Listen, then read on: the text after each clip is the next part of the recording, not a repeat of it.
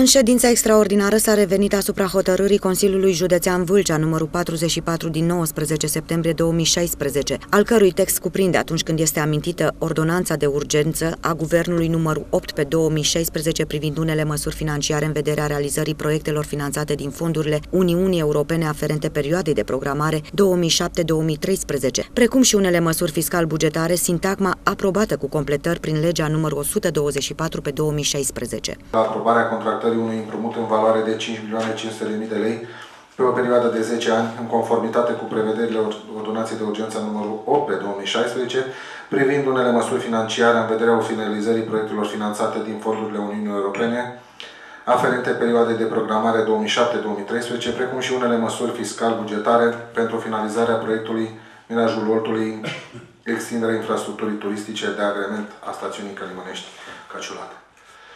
Doamnelor și domnilor consilieri, materialul v-a fost prezentat.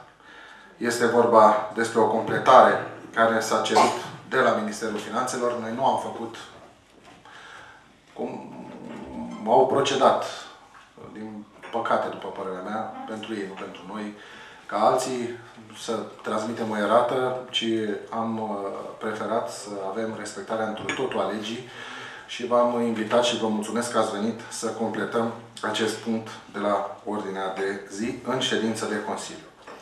Dacă sunt puncte de vedere, dacă nu sunt, supun aprobării punctul de pe ordinea de zi. Cine este pentru? Împotriva?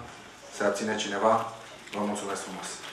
Doamnelor și domnilor consilieri județeni, dacă nu mai sunt alte uh, puncte de vedere, vă doresc o zi frumoasă, multă sănătate dumneavoastră și celor pe care i-am aplaudat că au sărbătorit ziua de naștere și o săptămână bună. În situația Consiliului Județean Vâlcea sunt majoritatea unităților administrativ-teritoriale care au solicitat împrumuturi în baza ordonanței de urgență a Guvernului numărul 8 pe 2016.